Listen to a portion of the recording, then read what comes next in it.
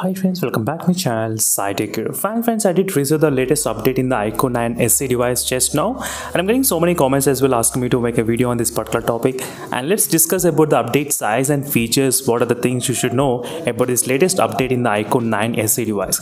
And just now friends, I started to download the Apex Legend mobile as well as you can clearly see. I'll definitely upload a lot of videos on this Apex Legend mobile very soon so stay tuned for those videos in case if you're interested. And this update version which is of 3.7.2 as you can can see? And here are the list of features which got included with this update. And the security patch has been updated to the May month security patch as you can see. And once after the installation I'll definitely do the demonstration on the Call of Duty game and Free Fire game because those are the games which are actually experiencing slightly lag and playing at 30 fps not 60 fps I'll definitely check those things whether those, those issues got fixed or not. Optimize the system stability to fix the issue where some apps occasionally crash or fall to fail to launch as you can see.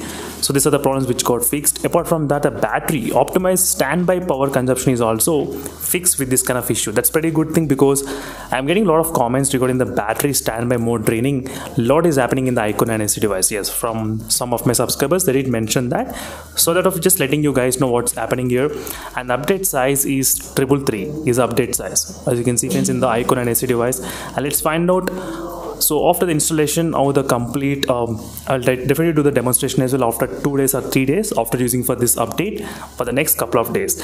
So i'm definitely friends in case if you want me to test any other aspect on this device let me know in the comments. I will definitely do the video upon that topic as soon as possible.